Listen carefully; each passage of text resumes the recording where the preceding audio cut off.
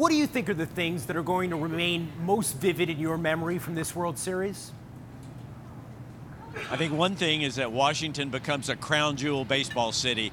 You know, for a city that didn't have baseball for 33 years, those of us who lived there knew it was potentially a great baseball town. It just took a long time. I think it could be that 21 year old Juan Soto, this was his national coming out party. It could be that Stephen Strasburg began to flesh out his Hall of Fame resume. Or maybe just something as simple as Anthony Rendon is one of the five best players in the game, and, we and we now, on a national stage, see it. Jesse, this team started the season 19 and 31. People all over baseball, all over the community of the sport were saying Dave Martinez isn't the guy. The front office said, no, he is. And then we saw this remarkable run, not only in the regular season, but then winning five elimination games, something only a few teams have ever done in the annals of baseball. How did Dave Martinez finally mold this team into the champion we now know. Yeah, you, you mentioned that that 19 and 31 start, and on May 23rd, I mean, there was there weren't many people who were not calling for Dave Martinez's head as the manager, but he kept them together. And I, I, think a lot of the guys give credit to the fact that he he stayed the same. He didn't change at all. You know, despite that rough start, he he kind of he stayed steady and and he kept this uh, mentality that sounds cliche, but he just kept saying we're going to go one and zero oh tomorrow and once you stacked enough one and O's on top of each other, you get into the playoffs, and then you start winning these elimination games. And even, even crazier than those elimination games, they trailed in every single one. They never were in command early on, but they came back in all five. So, I mean, this team certainly had something going, and I think a lot of the credit does go to Dave Martinez, who, like you like, like you mentioned, was was essentially fired by everyone, but the the Nationals right. kept trusting him. Richard, you know the baseball culture in D.C. You know how big a moment this is. I mean, you weren't there in 1924 when Fred Lindstrom couldn't feel that ball because of the pebble, and you know they beat the Giants, but it, but pretty close, right? So, so how does this make Washington, as you said, uh, not only the national capital but the baseball capital now of the country?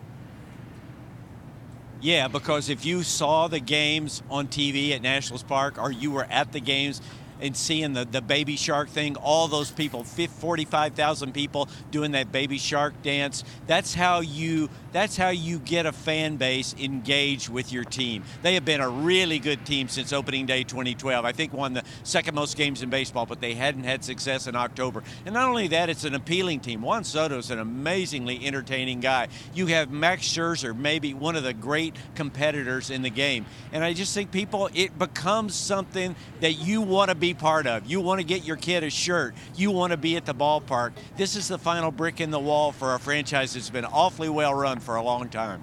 Jesse, earlier today I had a chance to speak with your colleague, Richard's former colleague at the Post, Thomas Boswell, the legendary baseball writer, about the meaning of this. And we talked a little bit about one of the big elements of this story, the Nationals doing this in 2019, the year, uh, the first year after Bryce Harper decamps from Philadelphia. Here's what Tom Boswell had to say about that you can have a team with good chemistry with Bryce, but I do not think that you can probably have a team with this fabulous team chemistry with Bryce because he really is a uh, a brand, you know a self branding guy. Jesse, I, I, you know I, I don't expect you to either say yay or nay on what Tom Boswell said, but it is not a unique perspective. I, I should say that you know we've seen things like this before. The year after Alex Rodriguez left Seattle, that team won 116 regular season games, the most ever, although they would fall to the Yankees in the ALCS. How did the absence of Harper have an impact on this team? Yeah, I think if you ask, you know, those within the Nationals and those within that clubhouse, they probably would give more credit to the additions they made rather than the subtractions. In this case, Bryce. But I do think there was you know, an overwhelming sentiment that, that everyone was pretty equal on this team. There wasn't a star sucking up the spotlight. There wasn't anyone's free agency hanging over the season. There wasn't, you know, one guy that, that everyone had to cater to. And Bryce, whether whether he tried to be that or not, he was that star. He always was. He came up as the number one pick. He came up as one of the, the, most heralded prospects in baseball history. So when you have that guy, I mean, you, you just you kind of take on that role, whether it's something that you, you're willing to or not. And I think for this team to sort of get in this in the situation where all 25 guys are on an even playing field, I mean, they talk a lot about how jokes fly to everyone. Max Scherzer gets the same amount of jokes that you know the prospect who just came up from the minors does, and maybe that wasn't always the case with, with Bryce Harper. So I think there are some elements that maybe it just created an, an equilibrium that allowed this team to have chemistry that you know really was a part of their backbone. Richard, um, you know, last night we saw A.J. Hinch take out Zach Greinke. His pitch count was very low. We know how it turned out.